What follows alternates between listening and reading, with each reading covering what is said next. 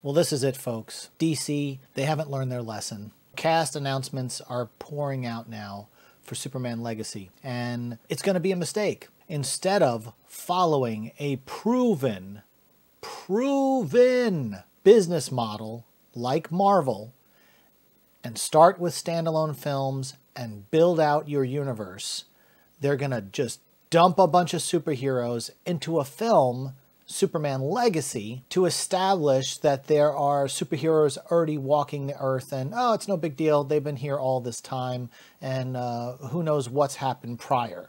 This is what was pretty much forced upon us with the Snyderverse, which was one standalone Superman movie. Don't give Ben Affleck a standalone Batman movie. Let's just just a Batman versus Superman. Let's throw Wonder Woman in that thing, and then and we'll branch off from there. Let's bring them all together, and then we'll branch off and do their standalones. That backfired over time, and Marvel stuck with their plan, which was standalones and then bring them into the universe until you build up to the Avengers. There's nothing wrong with stealing that formula. It worked, and it's still working. Whether people think, oh, maybe the movies are mid now from Marvel, whatever, they still have a great formula. DC is not going to learn their lesson. Oh, we'll have Elseworlds. Oh, we'll have stuff on HBO Max. Oh, we'll it's a mess. It's going to continue to be a mess. I don't care anymore about DC films. I just don't.